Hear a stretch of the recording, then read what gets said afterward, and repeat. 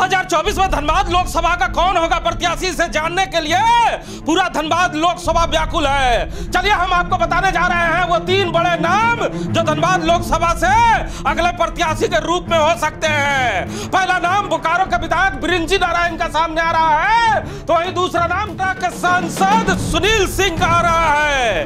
वही एक और नाम आ रहा है। उस नाम की चर्चा लगभग कई सालों से धनबाद लोकसभा में चल रही है। वो नाम है सरजू राय का।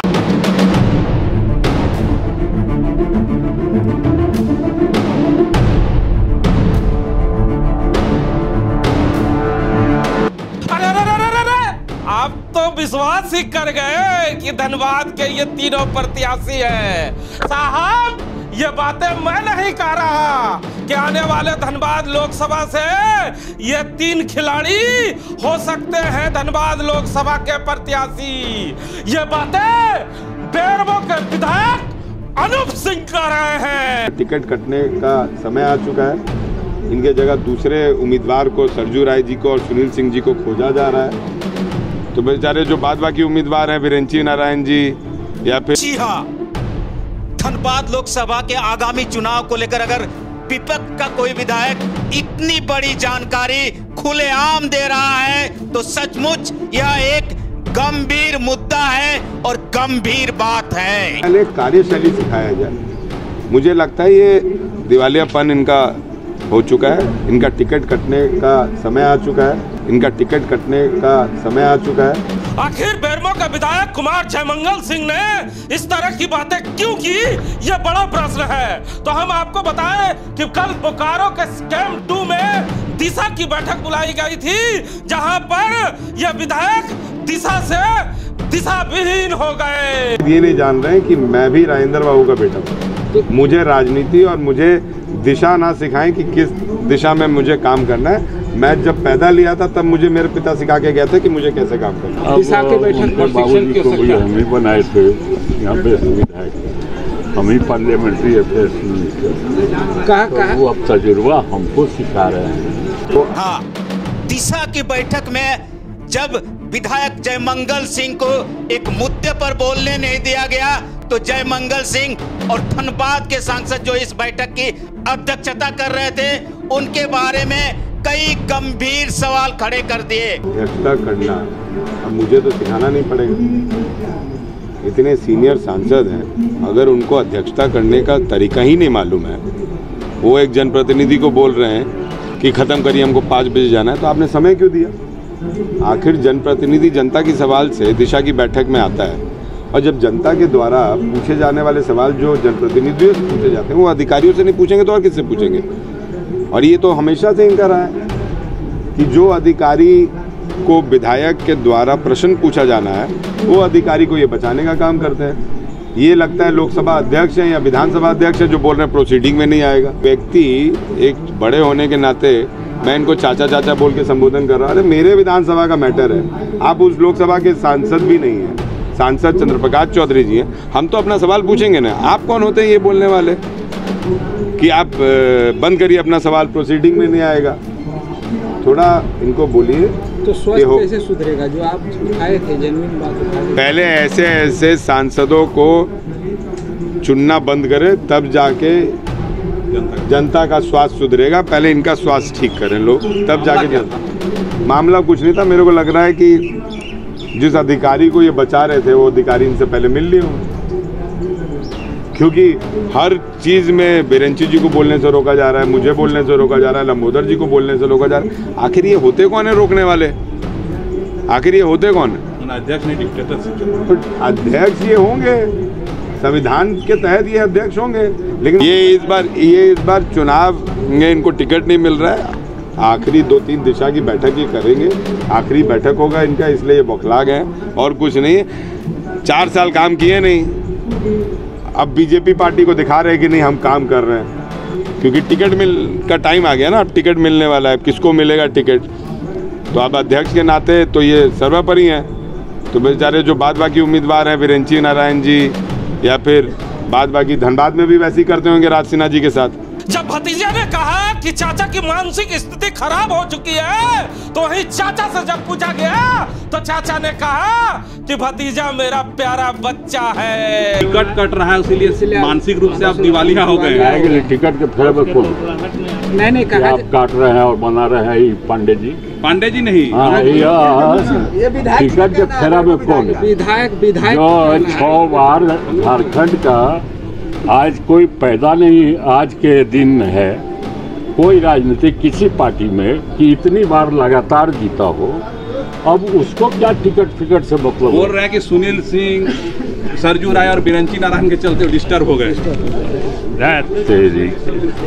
हम काहे के लिए डिस्टर्ब होंगे आपको बता दिया ना कि आज इतिहास धनबाद का तो है इतिहास। या पूरे राज्य का कोई पार्टी में कोई नेता इतने दिनों तक लगातार नहीं तो क्या साहब सिंह तो बोल रहे हैं कि आपको अध्यक्षता करने का जो है इतने दिन हो गया? तजुर- तजुर्बा नहीं है। तजुर्बा नहीं है तजुर्बा ही नहीं है। हम ही बनाए थे।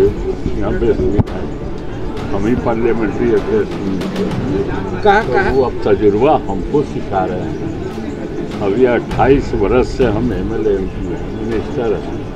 यहाँ बेस्ट विधायक का पुरस्कार झारखंड का मिला है। तो तजुर्बा आखिर है बेस्ट है। 2007 में हमको सम्मानित किया गया सबसे उत्कृष्ट विधायक का। तो प्रदेश अध्यक्ष भाजपा कर रहे हैं। अब उनके कोई राजनीतिक उद्देश्य हो तो हमारा बहुत प्यारा बच्चा है हमारा बहुत प्यारा बच्चा है।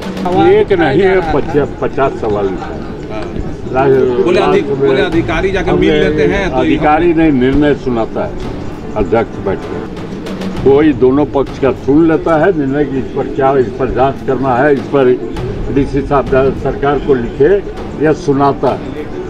अब उस पर वो रोक रहे थे। एक बार बर्दाश्त किया।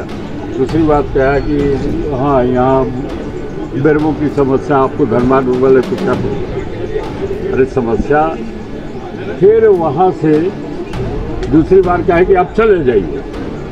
मैंने कहा कि इनका कोई प्रॉपर्टी नहीं है। जब अध्यक्षता जो कर रहा है वो साइन नहीं करेगा तो मीटिंग क्या होगी? ना ना विधायक विधायक की बात बात विधायक की बात विधायक की बात को जो है आप अरे कहाँ विधायक की कितनी बात को? मैंने कहा कि ये बैठक बारह बजे रात तक चलेगा क्या? इसी मुद्दे पे बात करने के लिए हमारे साथ राम नारायण शर्मा है। शर्मा जी सबसे पहले बताया कि विधायक अनूप सिंह ने इस तरह की बातें क्यों कही और उनका इशारा क्या था? हिमांशु जी दिशा की बैठक में विधायक अनूप सिंह अपने क्षेत्र के स्वास्थ्य विभाग से जुड़ी हुई सवाल को वहाँ रख रहे थे जिसके बाद सांसद महोदय ने उन्हें कई बार टोका और इस टोका टोकी के बीच में जो विधायक है बेरमो के हुए आपे से बाहर हो गए कि आपको प्रोसीडिंग नहीं आता है। आपके हम सवाल पूछ रहे हैं और इस सवाल को हटाने का प्रोसीडिंग से निकालने का आपको राइट नहीं है और जिसके बाद दोनों में टोका टोकी शुरू होती है और इसी टोका टोकी के बीच दोनों एक दूसरे पर आरोप प्रत्यारोप का आरोप लगाना शुरू कर देते हैं और जिसके बाद विधायक जी लगातार कहते हैं कि इनसे मुझे राजनीति नहीं सीखनी है, मैं राजेंद्र बाबू का बेटा हूँ और जिस दिन मेरा जन्म हुआ था, उसी दिन राजेंद्र बाबू ने मुझे राजनीति सिखा दी थी और इसीलिए जो धनबाद के सांसद हैं इनका अब दिवालियापन साफ़ साफ़ नज़र आ रहा है। मुद्दा कोई भी हो दिशा की बैठक में भले दिशा विहीन हो गए हो ये विधायकगण या सांसदगण लेकिन जो इशारों ही इशारों में अनूप सिंह ने एक बात कह दी जो दबी ज़ुबान में चल रही थी इस बात में क्या आपको कोई ताकत लगता है? बिल्कुल जब ये बात एक विपक्षी पार्टी का विधायक सरेआम लोगों के बीच और जिस क्षेत्र के सांसद अध्यक्षता कर रहे हैं, उनके बीच बोलते हैं कि इनका टिकट कटने जा रहा है क्योंकि इनकी पार्टी के तीन बड़े नाम धनबाद लोकसभा क्षेत्र के प्रत्याशियों की सूची में हो सकते हैं, जिसमें बोकारो के विधायक जी का नाम है, आपके चतरा के सांसद सुनील सिंह का नाम है, और अभी भारतीय जनता पार्टी में ज़रूर सरयू राय जी नहीं है, उनका नाम सामने आ रहा है तो अपने आप में एक बड़ी बात है कि धनबाद लोकसभा की सीट पर सिर्फ़ भारतीय जनता पार्टी को नज़र नहीं है, विपक्ष को भी नज़र है। तो विपक्ष को भी नज़र है। 28 साल का राजनीतिक कैरियर में हमें कई बार नंबर वन विधायक रहने का अवार्ड मिला है और हमें किसी से राजनीति सीखने की ज़रूरत नहीं। लेकिन आप राजनीति सीखे या ना सीखे, सांसद महोदय, आपके प्यारे बच्चे ने वो बातें बता दी जो भारतीय जनता पार्टी के कई नेता जानना चाहते थे। अब इशारों ही इशारों में जयमंगल सिंह ने जिन नामों पर ज़िक्र किया है और धनबाद लोकसभा का प्रत्याशी बताया है। अगर उन नामों में एक नाम भी सत्य होता है और उस पर मुहर लगती है तो ये बच्चा अब जवान हो गया है राजनीति में।